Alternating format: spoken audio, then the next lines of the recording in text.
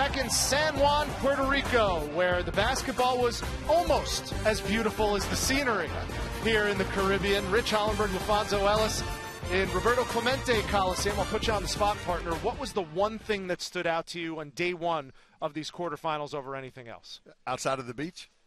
Yes, outside of the beach. Just the unbelievable intensity that teams are playing with.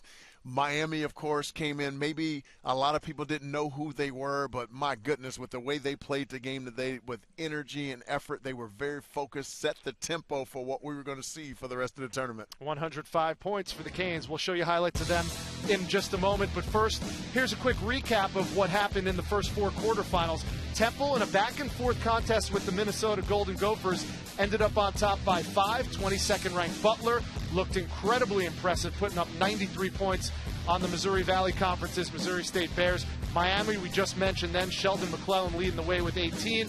And we just got done with 16th ranked Utah. And I guess you would say they survived against a very tough game, Texas Tech Red Raiders Club.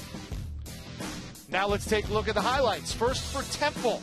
It was the inside presence of Jaylen Bonds, who led the American in rebounds last year, and he got eight boards to go along with 19 points today. In a recent game that I've seen them, weren't really involved in the offense, but they were intentional about getting Jaylen Bond involved in the offense. He responded well.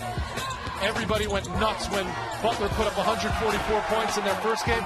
They almost hit the century mark in this one, led by Tyler Lewis, who was shooting well. He had nine points, but he also had 10 dimes. His ability to get into the creases, the vision to find guys, spectacular this afternoon.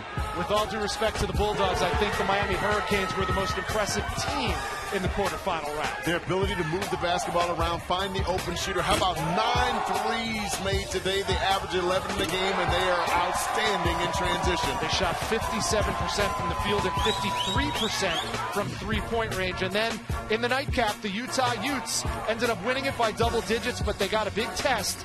And Jakob Poeltl fought foul trouble and the interior defense of the Red Raiders and put up almost a double-double. His ability to keep basketballs alive was phenomenal. But when they needed big buckets, they looked to that guy. 15 to be able to get to the basket and get some big buckets. Lorenzo was outstanding tonight. Lorenzo Bonam led the way for the Utes with 20 points. Poeltl had 15 points and nine boards. So your semifinals are set from San Juan, Temple, and Butler at 1 o'clock Eastern on ESPN 2 Friday, followed by Miami and 16th ranked Utah. That game could be seen at 7 Eastern on ESPNU. You are caught up from the Puerto Rico tip off. We say so long from San Juan. For Fonz, I'm Rich.